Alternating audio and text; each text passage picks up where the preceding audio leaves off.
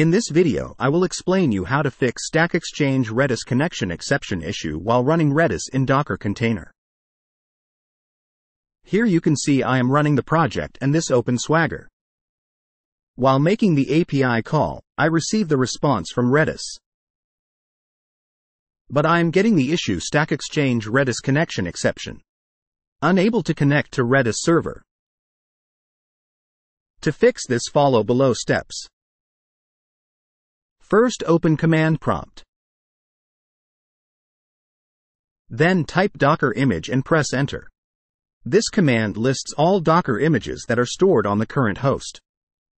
Here, I do not have Redis, so I will execute the command below. If you have Redis, please skip this step. This command fetches the most recent version of the official Redis Docker image from Docker Hub and stores it on your local machine. If you can't run this command, it means Docker is not installed. Please install Docker before proceeding with this command. Now you can see I have Redis.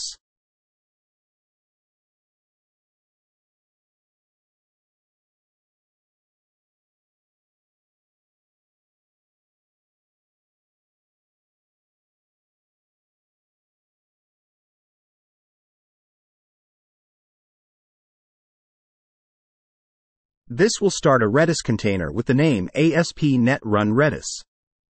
You can give any name.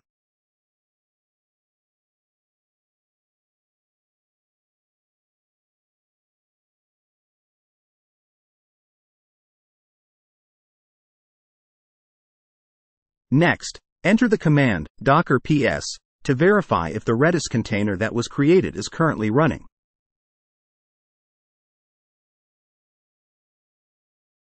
Then type below command.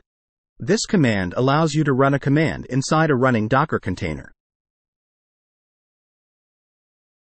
Replace ASP.NET Run Redis with the Redis name you have used in previous command.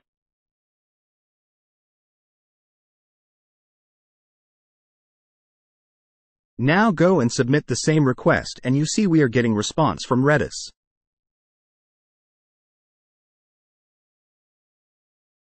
This much for today. If you like this video please like share and subscribe to the channel.